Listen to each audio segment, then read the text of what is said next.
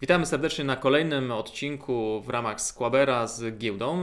Co czwartek e, publikujemy takie nagrania, które omawiamy sytuację na rynkach finansowych, a od pewnego czasu prowadzę rozmowy i dzisiaj e, e, rozmowę poprowadzę z da, Dawidem Lesznikiem, czyli osobą, która w Squaberze odpowiada za analizy, rekomendacje i ciekawe spółki.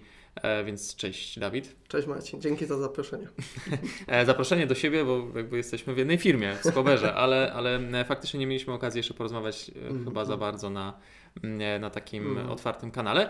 A chcielibyśmy, bo temat jest bardzo ciekawy. Dzisiejszym tematem jest Ciech. Ciech, który, e, znaczy na razie jeszcze nie, bo na razie jest tylko informacja o tym, że będzie wezwanie e, i to przez spółkę zależną, e, przez fundusz, tak, który jest w, zależny, w, w no, powładaniu tak kulczyków. Tak? Można tak powiedzieć, że to jest de facto własność e, kulczyków. Mhm. E, I o co chodzi w tym wezwaniu i czy warto na nie odpowiadać? Bo najczęściej to, co słyszymy ze strony naszych użytkowników, to jest niepewność, czy odpowiedzieć na wezwanie mhm. i zgodzić się na zaproponowaną cenę, czy jednak poczekać i co się wiąże z tą, z tą sytuacją dalej. Ale to może krok po kroku. Pierwsza rzecz, co to za wezwanie i jaki jest cel wezwania? Sprawa z Ciechem ma się tak, że Ciech został generalnie w 2014 roku sprywatyzowany. Mniej mhm. więcej. No spółka jest na giełdzie od 2005 roku, natomiast e, w 2014 przejmowali ją Kulczykowie, krótko mhm. mówiąc, tak? Jeszcze świętej pamięci Jan Kulczyk. Sprawa ta się ciągnie dalej kolejne lata, ponieważ e, prokuratura dalej, można powiedzieć, węszy, czy mhm. przypadkiem ta cena, po której on wtedy obejmował te akcje, nie była przypadkiem za niska. Tam ostatnimi czasy nawet mówiono, że 2,60 e, e, konkretnie za niska była ta wycena, bo kupował po 31 zł, miało być 33,60. No mhm. dobra, natomiast kilka lat minęło.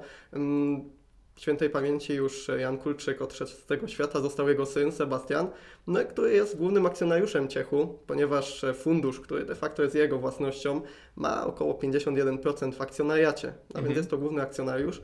No i można powiedzieć, że Ciech jako ta jedna z takich legend, mimo wszystko polskiej giełdy, bo jak mówiłem, no, legenda od 2005 roku, no, jest perspektywa do tego, żeby spółka zniknęła z naszego polskiego rynku, jako że e, właśnie ten fundusz zdecydował o tym, żeby w niedługim czasie, bo mówi się, że tak początkiem marca, ogłosić wezwanie na wszystkie pozostałe akcje Ciechu, no i ostatecznie spółkę zdjąć z giełdy. Okej, okay, czyli podstawowym celem, tak jak też czytamy w komunikacie, jest to, żeby mm, e, ta spółka KI Chemistry e, miała 100% udziałów, no a jak będzie miała 100% udziałów, to nawet nie może być na giełdzie, tak? Bo rozumiem, że nie może być na parkiecie. tak. Właśnie. E, natomiast może przejdźmy teraz dwa słowa na temat samego procesu, jaki jest związany z wezwaniem, bo mamy na razie w ogóle informację o tym, że chcą przeprowadzić mhm. wyzwanie. E, natomiast od tego, że chcą, do tego, że przeprowadzą, to jest jakiś tam krok. No i później podstawowe pytanie, które się rodzi akcjonariuszom, to takie, czy zostanę z akcjami, kiedy spółka zejdzie z giełdy? Co, co się z tym mhm. wiąże, jak, jakie są ryzyka?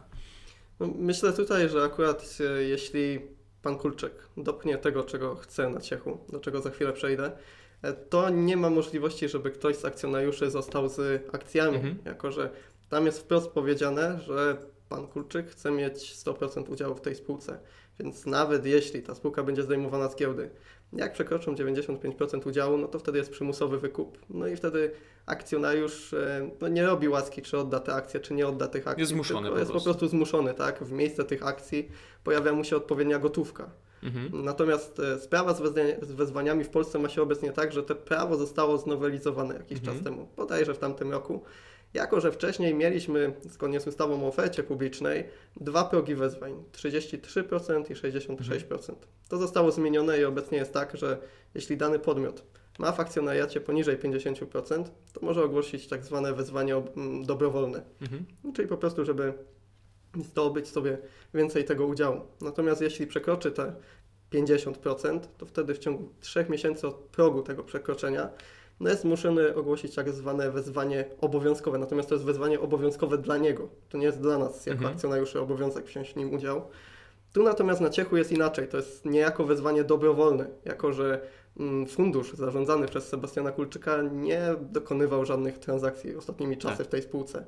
Więc to jest no, niejako jego pomysł po prostu, żeby przejąć resztę tego pakietu mhm. no i zdjąć spółkę z giełdy. Może tutaj warto dodać, że te zmiany, o których mówisz, one zostały zrobione po to, aby akcjonariusze byli bezpieczniejsi, że jakby mają tą możliwość, że w momencie, w którym ktoś przejmuje kontrolę nad spółką, no bo teoretycznie jak ktoś ma powyżej 50%, to zyskuje kontrolę nad spółką, żeby dał tą szansę akcjonariuszom, którzy są do tego może niechętnie nastawieni, wyjść z tej inwestycji po tej cenie, którą zaproponuję. No i właśnie dochodzimy do ważnego elementu, jakim są ceny, bo mm, aktualnie cena, która została zaproponowana, no nawet nie zaproponowana, co poinformowali, zostaliśmy mm. poinformowani o tym, że będzie, to wynosi teraz 49 zł. 49 zł. No i pytanie, czy to jest po pierwsze odpowiednia cena, czy warto na to odpowiadać? To jest jakby najważniejsze chyba pytanie większości mm. osób. No trzeba powiedzieć, że na razie to jeszcze nie jest ogłoszone wezwanie. Mm. To jest tylko wezwanie, wezwanie zapowiedziane czyli dopiero będzie to realizowane, gdzie głównym tym podmiotem pośredniczącym w wezwaniu ma być bodajże Santander. Natomiast no, od tego ogłoszenia do, od, od tej zapowiedzi do faktycznego ogłoszenia jeszcze mhm. mamy mm, parę tygodni, no i się spekuluje, że te 49 zł to już w tym miejscu jest po prostu za mało. To nawet Zresztą, widać po cenie, tak, bo mamy aktualnie ponad 50 zł. A... spojrzeć sobie na wykres, jeśli cena w odpowiedzi na ogłoszenie takiego wezwania od razu nam wystrzeliwuje ponad ten poziom, no to to jest sugestia, że akcjonariusze po prostu nie wierzą w to, że za 49 zł uda się e, mhm. przeprowadzić te wezwania, tylko oczekują większej wyceny. Yy, to, to, to, już jest pierwsza informacja, że być może nie warto się yy, na razie zakorzeniać mhm. na tych 49 zł. Co więcej, yy, jeżeli, bo, bo ten proceder to nie jest standard, że najpierw mamy informację, że ktoś chce wezwać. To raczej jest, y, znaczy pewna możliwość, mm -hmm. natomiast często jest tak, że po prostu spółka ogłasza tak, wezwanie. Tak, tak. Więc e, ja mam takie poczucie, że to jest trochę badanie rynku, tak? czyli jakby wyszłanie, puszczanie informacji po to, aby zobaczyć, jaki będzie odbiór inwestorów. -hmm. A mamy jakieś punkty odniesienia, jaka cena byłaby taką, nazwijmy to, uczciwą, mhm. jeżeli chodzi o mm, przyszłość e, spółki? Jasne. No, masz e, tutaj rację, że to jest do pewnego stopnia badanie rynku. Mówi się, że właśnie przy okazji publikacji wyników za czwarty kwartał, mhm. oni to e, starają się wyprzedzająco nieco nieco zrobić z ogłaszaniem tego wezwania, bo mhm. po prostu Ciech ostatnimi czasy ma całkiem niezłe wyniki finansowe i je systematycznie poprawia. Natomiast jeśli chodzi o te ceny w wezwaniu, to nie jest tak, że tu jest pełna dobrowolność i pełna dowolność e, wzywającego mhm. odnośnie ustawienia tej ceny. No, są takie progi, powiedzmy, są trzy warunki, które musi spełniać cena w wezwaniu, tak zwane warunki ceny minimalnej. Po, po pierwsze, ta cena w wezwaniu nie może być niższa niż e, średnia cena ważona wolumenem z poprzednich trzech miesięcy notowań. Nie może być niższa. Nie może być niższa. Mhm. Po drugie z 6 miesięcy, czyli mamy takie no, dwa warunki cenowe. No mhm. i po mhm. trzecie, nie może być też niższa od tego, co dany wzywający albo podmioty z nim powiązane, mm, e, za ile kupowały w okresie poprzednich 12 miesięcy mhm. przed rozpoczęciem, przed ogłoszeniem wezwania. Ale tutaj tego nie ma. Bo... Więc to w ogóle nam tak. odpada. Natomiast jeśli chodzi o te ceny właśnie rynkowe, no tutaj jest premia, ponieważ premia bodajże 3-miesięczna wynosi około tam 30%, jak dobrze kojarzę, a 6-miesięczna 15% premii. Mhm. Tak mniej więcej. Może mylę, że to jest na odwrót, natomiast e, w każdym razie no, ta premia jest rzeczywiście przynajmniej kilkunastoprocentowa względem tego minimum, które jest wymagane wymagane ustawowo. No, to trochę wynika z tego, że Ciech wpadł w taki ruch e, spadkowy wynikający z wysokich cen gazu i energii ogólnie, węgla, gazu to i energii. To jest jeden z czynników, które przyciskały tą wycenę akcji. Zgadza się i wydaje się, że, że jakby to daje im tą przestrzeń do obniżenia mhm. tej wyceny, natomiast nie ma w przepisach e, ograniczenia górnego. Nie ma. Czyli mogą dać teoretycznie nieskończenie wiele. Mm, no Oczywiście... i na to chyba liczą akcjonariusze, ponieważ no widać co już robią na wykresie. Tak, no może nieskończenie wiele nie liczą, bo to jest zaledwie złotówkę więcej niż e, aktualnie mm, proponują w, tym, w tej informacji. Mhm. Niemniej, e, no, tak, takie są założenia, takie są ograniczenia te dolne. Tak jak mówimy, górnych nie ma. Natomiast, okej, okay, no to dajmy na to, jesteśmy akcjonariuszem Ciechu. Zresztą w Skłaberze też informowaliśmy mhm. o Ciechu. Jeszcze raz może pokażę na chwilkę wykres. E, tutaj, gdzie tam na dole widzicie taką wyrysowaną głowę z ramionami, to tam był nasz sygnał. Mm, myśmy go zamykali gdzieś w okolicach 46 bodajże złotych, jak dobrze pamiętam. E, no ale tutaj zdecydowanie warto, i później też kilkukrotnie mówiliśmy o spółce, że jest ciekawa, bo cały czas właśnie, y, dlatego też o tej spółce chcieliśmy więcej porozmawiać, bo mhm. ona w naszym kręgu zainteresowań jest od dawna. Tak. Mm, I cały czas uważamy, że jest spółką, która jest tej branży chemicznej, związanej też poniekąd z nawozami, z rzeczami tak jak soda oczyszczona, y, które są po prostu potrzebne a jednocześnie to jest prywatna spółka, która stawia na to, aby mieć większą efektywność. Oni jedną z fabryk, którą mhm. ostatnio stawiali, stawiali już taką bardziej eko, tak, żeby tak. Tej, tej zużycie energii było inne.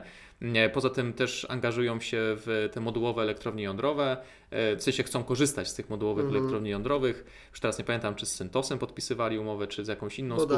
Chyba, chyba już mało istotne teraz. Więc jest tam ta, ta myśl o tym, żeby dbać o koszty. Tak? Nie, nie jest to spółka państwowa, gdzie wiadomo jest pięć osób po drodze, żeby, tak. nie, żeby zarobiły. No to Więc... jest też jeden z czynników, dla którego właśnie Sebastian Kulczyk decyduje się Ciecha zdjąć z giełdy. No. Zależy mu na tym, no oczywiście on ma tam ponad 50% udziału, więc de facto rządzi tą spółką. Natomiast co by nie mówić, musi się oglądać na innych akcjonariuszy, których nie ma mało, bo to jest 49% bez mała. Tak. tak, i to y, może dojdziemy do tych akcjonariuszy y, przy okazji pokazania, kto faktycznie mm. wchodzi w skład tego akcjonariata, ale, akcjonariatu, ale jeszcze jedno, jedno ważny, ważny temat poruszyłeś, bo po co w ogóle spółki wchodzą na giełdę? To jest bardzo ważny aspekt. E, jakby spółka, która jest publiczna, zyskuje mm, pewną E, mm, taką dozę zaufania wśród swoich kontrahentów. To jest jakby najważniejszy aspekt. Plus wiele badań naukowych pokazuje, że faktycznie obniża się koszt pozyskania tak. kapitału. To jest jakby jeden z najważniejszych aspektów, czyli przejrzystość i pozyskanie kapitału na niższym poziomie.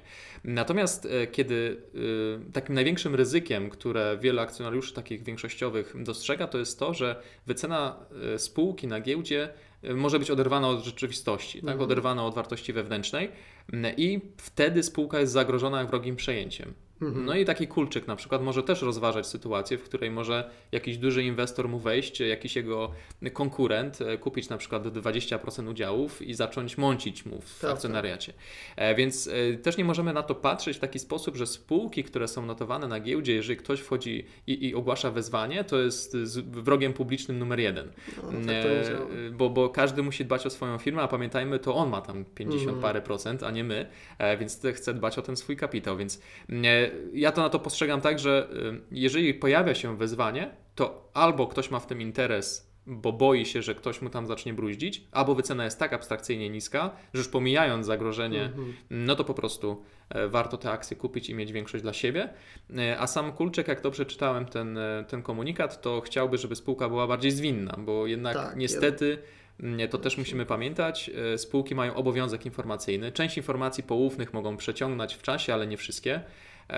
Więc y, to powoduje, że jakieś strategiczne decyzje, które spółka by chciała podjąć, no musi dawać do publicznej informacji, co dla konkurencji jest też taką kawą na ławę. Nie? Siłą rzeczy, plus e, mówi się, że Kurczę generalnie ma plan taki, żeby Ciech był takim finansowym sercem mhm. całego ekosystemu mniejszych firm, które on tworzy, tak? Mhm. On inwestując, no nierzadko nawet w startupy, potrzebuje po prostu dozy finansowania do tych spółek. I tutaj Ciech poprzez fakt, że spółka ta jest dobrze ugruntowana, spółka, która generuje systematycznie bardzo solidne przepływy mhm. pieniężne, byłaby właśnie takim centrum centrum finansowym dla całej grupy, którą mhm. on, tworzy, on sobie by chciał utworzyć.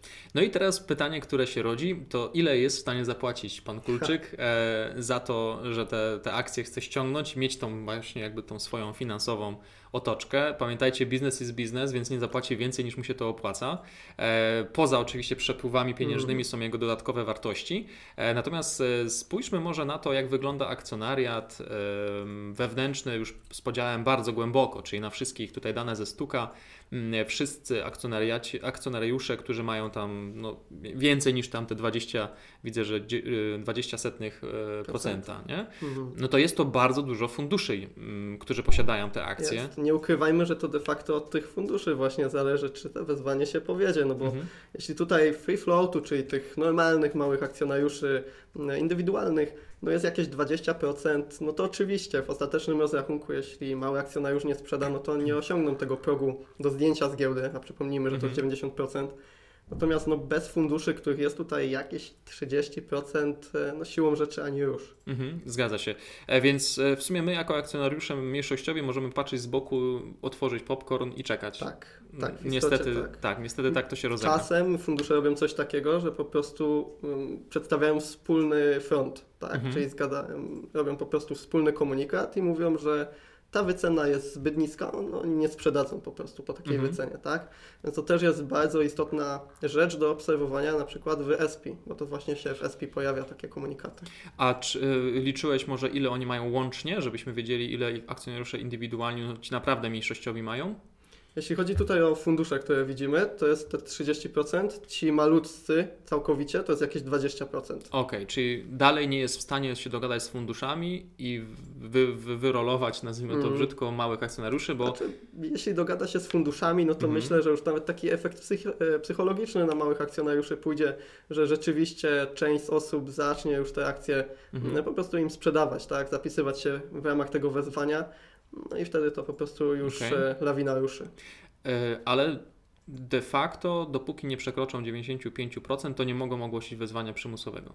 E, Tak, jeśli chodzi o przymusowe to 95%, ale pamiętajmy o tym, że próg zdjęcia z giełdy jest niższy, bo Właśnie. tylko 90% wynosi. Czyli, czyli nas inter... czyli jakby najbardziej ryzykowne dla akcjonariusza mniejszościowego jest próg między 90 a 95. Tak, tak. Bo może, mogą ściągnąć strefa. co Mogą ściągnąć mówić. spółkę z giełdy, możemy zostać z akcjami, które będzie nam bardzo trudno sprzedać, Mhm. e, jedynie poprzez umowy cywilnoprawne, a potencjalnie podmiotem, który będzie chciał je kupić, to jest tylko kulczyk. Tylko. Natomiast no, pamiętajmy o tym, że on dąży do tego 100%, Mhm. stuprocentowego udziału, więc on raczej by się po prostu nie zadowolił czymś takim, że zdejmie spółkę z giełdy, mając jeszcze 8% innych akcjonariuszy. No tak, ale z drugiej strony, jak ściągniesz spółkę z giełdy mając 8% akcjonariuszy, to wtedy wiesz, że i tak do ciebie przyjdą. No najprawdopodobniej, znaczy mogą być też uparci, jak na przykład jakieś małe fundusze, które mają w okolicach 1%, które stwierdzą, że dla nich to zasad- zasadniczo nie jest problem. Mhm. No bo są fundusze, tak, które mają aktywa niepubliczne w ramach swoich portfeli, no i dobrze im się wiedzie. Tylko z drugiej strony, y, czy taki fundusz chciałby zostać y, ze spółką, która nie jest publiczna, która wie, do czego może służyć, nie? Znaczy jakby nie zostanie, tam, tam dywidendy nie będzie, bo, bo Kulczykowi nie będzie się opłacało wypłacać dywidendy, tylko będzie chciał przepływy pieniężne wykorzystywać w inny sposób, Mhm. e, te środki pieniężne, z tego co powiedziałeś, tak? No ale to może już te dywagacje zostawmy, bo to e, do niczego nie, no, nie prowadzi. Mm, E, tak, natomiast wracamy do tej ceny. No i teraz pytanie, jaka cena e, według jakichś wycen, w ogóle jak byś podszedł Mhm. do wyceny spółki Ciech? Jak, jak, jaką metodą wyceny? Czy są jakieś rekomendacje, na Mhm. których możemy się oprzeć? Jak to wygląda? No, wprost się mówi, że te wezwanie z taką wyceną jest już nieco spóźnione. Że ta cena 49 zł za akcję to może by była satysfakcjonująca jeszcze w zeszłym roku. Mhm. Powiedzmy w okolicach października, no listopada. Kiedy był najpóźniej, strach tak. na giełdzie. Kiedy był Mhm. strach, właśnie, kiedy był strach. Wtedy była taka wyciągnięta dłoń, tak, Mhm. żeby się po prostu ratować z tych tonących statków. No a teraz Czech pokazuje coraz lepsze dane finansowe, no i już e, ludziom się to po prostu nie Mhm, uśmiecha, tak, jasne. żeby tak tanio oddawać, e, oddawać ten papier. Natomiast no, jak podejść do takiej wyceny? No jedna rzecz to jest oczywiście analiza od razu tego, czy wezwanie po takiej cenie może się udać. No a widzimy już na przykład, że wykres sam sugeruje, że to jest Mhm. za mało, za mało po prostu. Natomiast z naszej perspektywy, ile to by było? No, konsensus wycen na rynku, jeśli chodzi o jakieś wyceny robione przez domy maklerskie, wynosi w okolicach 50 zł za papier obecnie Mhm. co można powiedzieć jest dość nisko. Okay? Natomiast te wyceny na przestrzeni ostatnich miesięcy były systematycznie dźwigane i to z Mhm. perspektywy nawet 38 zł w okolicach Okej. października, teraz do 50, 51, 50, tak jak teraz mamy na rynku. Więc rzeczywiście tutaj no, jest taka tendencja wyceniających domów maklerskich, że one zwykle gonią rynek, że te wyceny zwykle są spóźnione. Mhm. My oczywiście możemy się na nich opierać. To jest e, pomocny drogowskaz i czasem może się okazać, że rzeczywiście ten konsensus wycen od razu będzie dużo wyżej. Tutaj na Ciechu jest to nieco spóźnione, no Okej. bo widać rzeczywiście, że gonią ten rynek z tymi wycenami. Mhm. Natomiast gdybyśmy mieli sami robić tą wycenę, no to już jest potrzebna taka doza nieco wiedzy specjalistycznej, ale też e, takiego bycia ze sztuką robienia Mhm. tych wycen. Problem z Ciechem jest taki, że z jednej strony jest to fajna, duża, stabilna spółka, która generuje stabilne przepływy, więc z tej perspektywy można powiedzieć, że okej, fajnie, łatwo je będzie prognozować. Czyli można by było podejść od strony DCF-a, czyli discounted DCF, cash flow. no, dokładnie. Natomiast z drugiej strony, znowu trudno nam jest przewidywać dokładnie, na ile będą mi się kształtowały ceny e, surowców. A więc pamiętajmy, że tutaj w Ciechu Mhm. bardzo istotny jest gaz, bardzo istotny jest węgiel. Teraz ich ceny spadają, notują korekty, tak, te surowce. Więc e, tutaj siłą rzeczy to też podbija e, potencjał marżowościowy Ciechu. Mhm. No i z tego względu też te wyceny nam rosną. Więc z jednej strony fajnie, mamy tutaj duże pole do tego, żeby sobie dyskontować te przepływy Ciechu. Natomiast Ciech jest tak dużą spółką i tak skomplikowaną i mimo wszystko tak y, nie do końca jednorodną biznesowo, mhm. że trudno to de facto dobrze ugryźć, bo gdybyśmy chcieli robić tak całkowicie koszernie, że tak powiem, tą wycenę DCF, mhm to musielibyśmy de facto zaprognozować przepływy z każdego segmentu działalności ciechu. Mhm. No, a ich jest tak z 5-6, jak dobrze kojarzę, mhm. tak? No bo mamy branżę agro, czyli nawozy, mamy lampiony, no, czyli de facto znicze, które oni robią, tak? Te e, szklane opakowania. Mhm. Mamy też oczywiście sodę, która jest najważniejsza. Tak. Można powiedzieć, że wystarczy sodę zaprognozować, no i mamy tak kilkadziesiąt procent mhm. E, całej wyceny zrobionej. Tak? Natomiast e, można podejść nieco bardziej tak, e, bym powiedział, lightowo do tej sprawy i spróbować zrobić wycenę porównawczą, czyli wycenę opartą o wskaźniki typu cena do zysk, mhm. biorąc jakąś grupę porównawczą dla Ciechu. Natomiast to by musiała być grupa porównawcza międzynarodowa. Tak, tak, zdecydowanie. Zresztą sam Ciech działa międzynarodowo, więc no tak, trudno jest, porównywać ją do jakiejś spółki wewnątrz Polski. Tak, to jest no, czołówka europejska, jeśli mhm. chodzi o sodę, chociażby mm, o nawozy, no też można powiedzieć, bo to jest pierwszy chyba producent nawozów w Polsce. E, na rynku europejskim też wysoko, e, wysoko stoi. A grupa Azoty nie będzie pierwsza? Mm, możliwe. No możliwe, myślę, że grupa tak. Azoty będzie pierwsza możliwe, akurat nawozach. Z innym segmentem. Tak, ale oni też e, mają inne nawozy, jak dobrze tak. pamiętam, strukturę sprzedaży. To są te środki ochrony roślin, tak no. miałem powiedzieć dokładnie, to jest ta branża agro. Mhm. Okej, okay, więc porównawczo lub dyskontowane przepływy pieniężne. Czy masz jakieś w ogóle z tyłu głowy spółki, które mają podobną działalność jak Ciech? To tak. są giganci międzynarodowi z branży chemicznej, natomiast tutaj trudno wskazywać bezpośrednio, co by tutaj za podmiot mógł być takim uniwersalnym, powiedzmy, punktem odniesienia dla ciechu. Ja bym tu sugerował zrobić coś nieco mhm. bardziej pokrętnego. Mhm. To znaczy podzielić sobie ten biznes ciechu na te linie produktowe, które oni mhm. mają. Te główne linie, te segmenty sprawozdawcze, tak? czyli na sodę, na branżę agro, środków ochrony roślin, i tam w ramach każdej takiej linii biznesowej poszukać dwie, trzy spółki, które by były właśnie punktem odniesienia i to uśrednić najpierw w ramach tej, e, w ramach tej grupy porównawczej dla danej linii biznesowej, a mhm. potem uśrednić dla całego przedsiębiorstwa. Po prostu ile, dana, ile dany segment ma udziału w mhm. tej spółce, tyle po prostu takiej wycenie przyporządkować procent w całości udziału. Okay. E, to to jest jakaś wskazówka, a czym bo, bo w, w ogóle w analizie jakiejkolwiek, czy porównawczej, czy mm, dyskontowanych przepływów pieniężnych, e, no i innych również, są pewne założenia. Założenia na przykład co do wzrostu, co do dyskonta względem innych spółek, jeżeli bierzemy porównawczą wycenę, czy na przykład płynnościowe dodatkowe aspekty, czy notowany właśnie rynek, no bo spółki, które są notowane na giełdzie, na Nysę na przykład, no z założenia mm. mają wyższe wyceny, bo jest tak. większa dostępność tego rynku. E, czy jest jakaś rekomendacja do, ogólnodostępna, na, która moż, na, na, którą można by było mm. e, sięgnąć, żeby mieć jakąś bazę, mm. na której można coś podziałać, coś zmienić? Jasne. No, można by pomyśleć, czy przypadkiem Czech nie jest w ramach pokrycia analitycznego. Tak, no to jest pierwsza tak? myśl, która powinna się pojawić, no bo i... GPW, nie tak. wiem czy wiesz, czy ty wiesz, mhm. natomiast nie wiem czy wiecie, e, GPW ma taki program pokrycia analitycznego i płaci analitykom w domach maklerskich za to, aby wydawali ogólnopubliczne czy ogólnodostępne publiczne rekomendacje, które są e, właśnie wycenami fundamentalnymi spółek. No i pytanie, czy Ciech w takim programie no jest? Okazuje się, że niestety nie, a to jest jedna z no, największych spółek na polskiej giełdzie, co by nie mówić. Może tak? ze względu na to właśnie, że jest trudne. No, może tak. Trudno chwytać, trudno się przyłożyć do takiego mhm. no, orzecha twardego do zgryzienia. Tak. To jest problem w ogóle z wycenami spółek, które mają wiele już jakby gałęzi, nie? W tak, których, no po prostu jest to, nie ukrywajmy, moloch mimo mhm. wszystko, tak.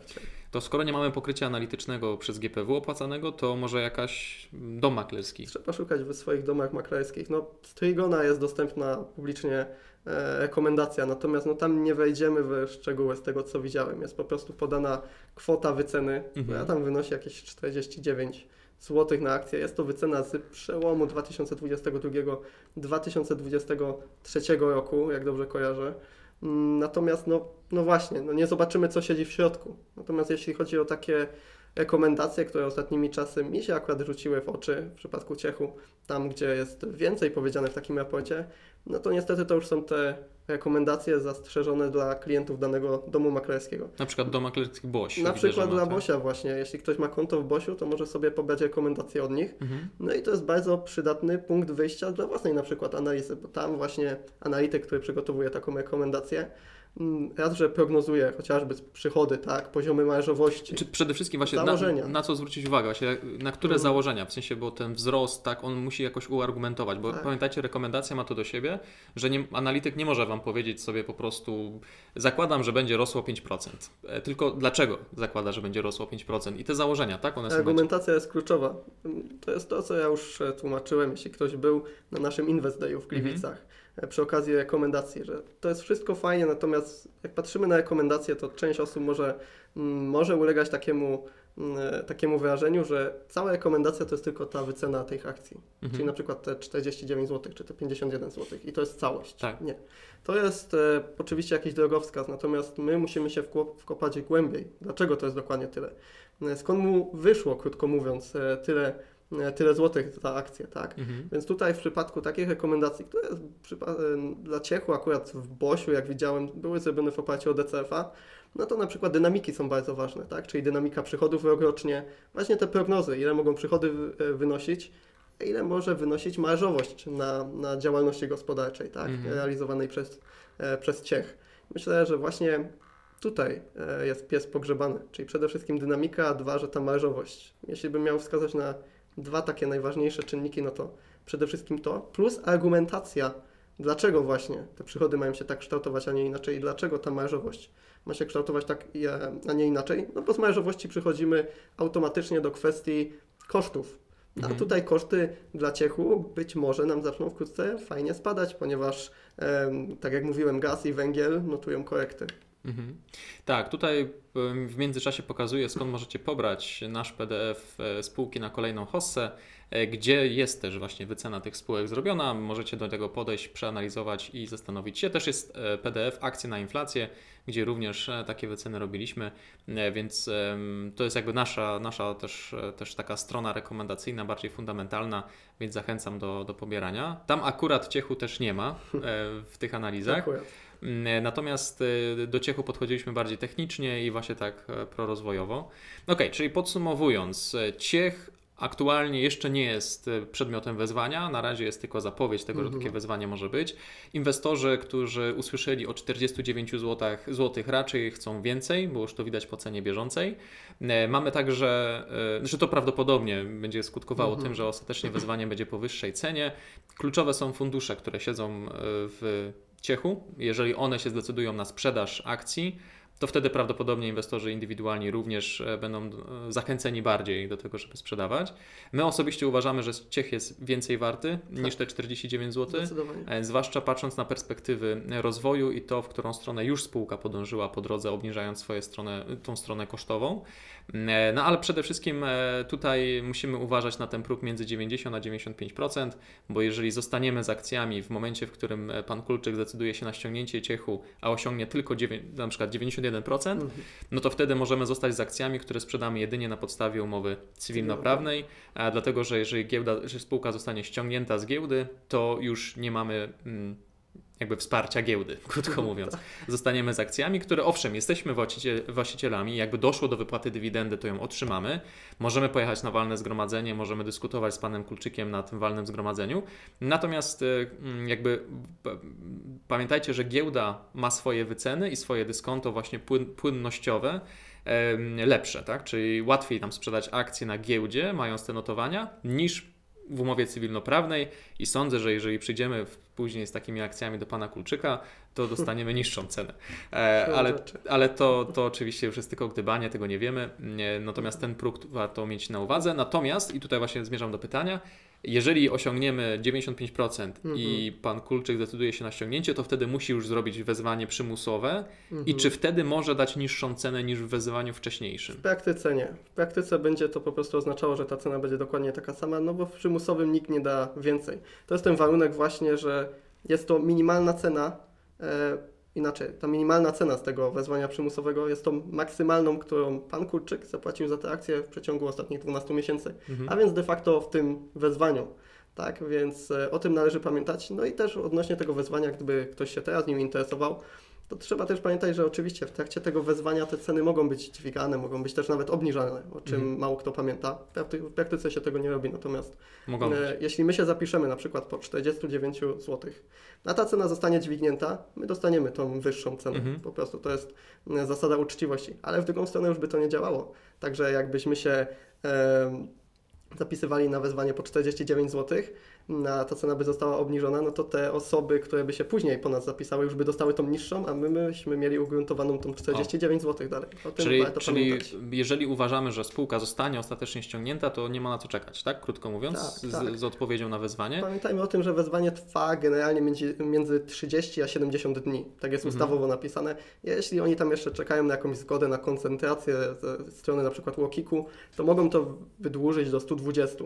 Natomiast tą cenę w wezwaniu mogą zmieniać co 5 dni roboczych. Tak jest w ustawie zapisane. Okej. Okay.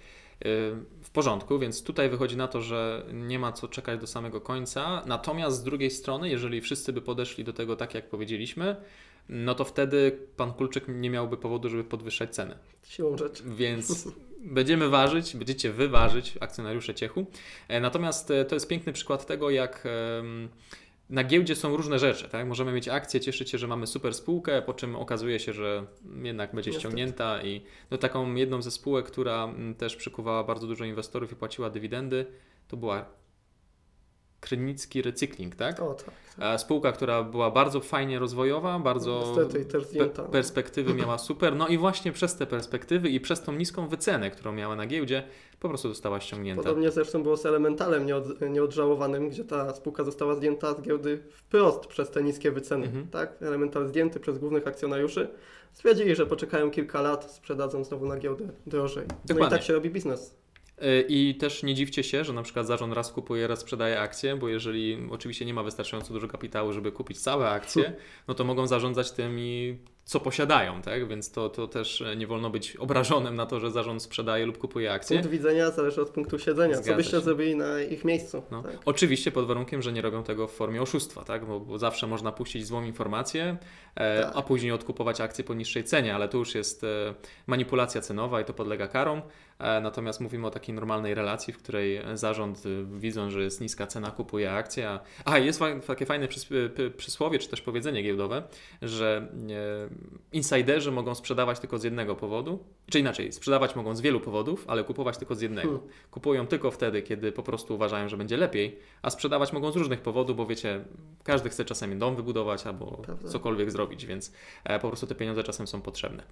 Okej, okay, dzięki e, Dawid za to spotkanie. Mam nadzieję, że Wam e, się ono przydało. Dajcie znać w komentarzu, co Wy myślicie, czy odpowiecie na wezwanie po 49 zł, czy jednak uważacie, że cena jest za niska i będziecie oczekiwać wyższej. Mm, z Dawidem oczywiście w Squaberze macie na co dzień kontakt. W piątki zawsze podsumowanie fundamentalne, no a komentarze, analizy codziennie w Squaberze od Dawida również otrzymujecie. Wszystkiego dobrego. Dzięki Dawid jeszcze Dzięki raz. bardzo. Trzymajcie się i do kolejnego. Cześć.